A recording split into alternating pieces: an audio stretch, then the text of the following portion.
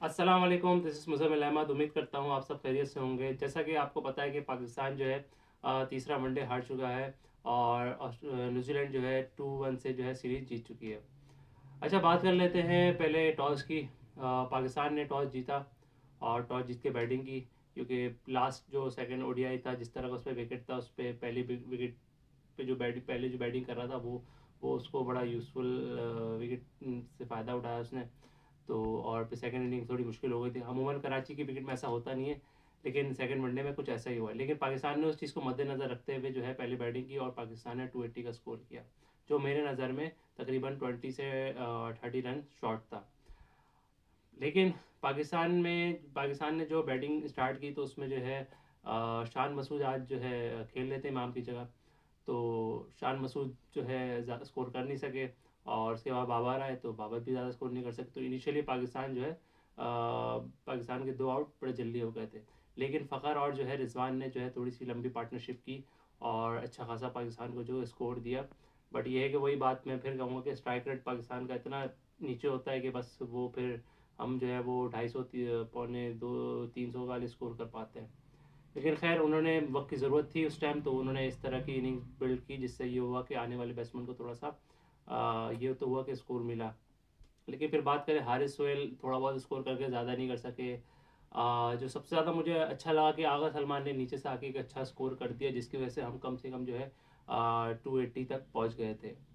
बाकी उसके बाद आज ना नवाज़ बैटिंग से चल सके ना मोहम्मद वसीम प्रॉपर चल सके।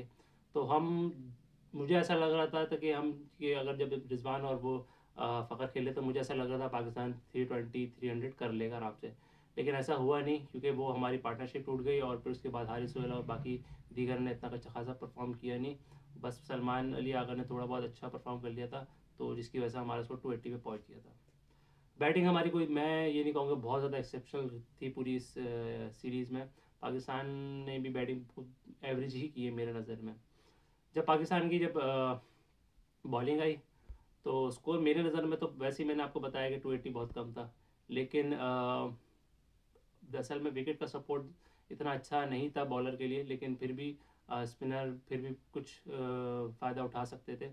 लेकिन वही वाली बात है कि आज दिन नहीं था पाकिस्तान का प्रॉपरली फील्डिंग पे। हमारी कोई अच्छी नहीं हुई। विकेट कीपिंग पे दो कैच छोटे। फिर एक बैड लक हुई हमारे साथ कि वो हमने एल लिया नहीं, उसका रिव्यू अलीम डार ने दिया भी नहीं था और फिर हमने रिव्यू लिया भी नहीं। तो ये भी थोड़ी सी बैड लग रही। उसके बाद फिर मुझे थोड़ा सा क्वेश्चन मेरे थे, मोहम्मद हसनैन से रिलेटेड यार नसीम शाह नहीं खेले तो लेकिन मोहम्मद हसनैन ने आई टोटली डिसअपॉइंट फ्रॉम इस परफॉर्मेंस के वो जितना अच्छा प्लेयर है, वो अपने आप को शायद डिलीवर नहीं कर पा रहा है।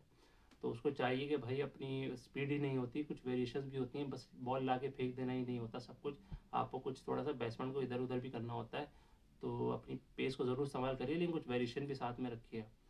और फिर बात कर लेते हैं कि हमारी इस पूरी सीरीज़ में हमारी लेकनेस क्या रही? ओवरऑल मुझे थोड़ी सी कैप्टनसी इतनी अच्छी खास लगी नहीं कि जितनी अच्छी कैप्टनसी हो सकती थी, लेकिन इतनी हुई नहीं कि बाबर को समटाइम कुछ ऐसी जगहों पे फैसले करने चाहिए थे जो बाबर ने नहीं किए। बॉलिंग से रिलेटेड मैं कहूँगा। लेकिन फिर भी ओवरऑल हमारी बॉलिंग तो वैसी ही अच्छी है, हर जगह माशाल्लाह से परफॉर्म करते हैं। लेकिन अगर हम कहीं भी सीरीज़ हारते हैं या मैच हारते हैं तो हमारी बैटिंग की वजह से हमेशा होता आज भी मैं जो समझता हूँ, हमारे बॉलर कोशिश कर रहे थे कि टू एट्टी जो है हम वो डिफेंड कर लें बट वो ज़ाहिर है हम ट्वेंटी फोर्टी रन या थर्टी रन जो है एक तरह से शॉर्ट थे तो जिसकी वजह से हमारी बॉलिंग ने इतना प्रॉपर डिफेंड नहीं कर पाए तो इतना मार्जिन तो उनको मिलता है कि, आ, कि वो ज़ाहिर है उन्होंने आपको फिर भी आठ विकेट उन्होंने गिरा दी। तो ये है और बाकी best of luck for the future Pakistan. अब देखते हैं इन पाकिस्तान की अब आने वाली सीरीज़ में किस तरह की प्रिपरेशन रहती है। तो बस उम्मीद करता हूँ आपको जो है मेरी वीडियोस अच्छी लग रही होंगी। तो फिर मिलते हैं किसी नेक्स्ट वीडियो में। तब तक के लिए अल्लाह हाफिज़।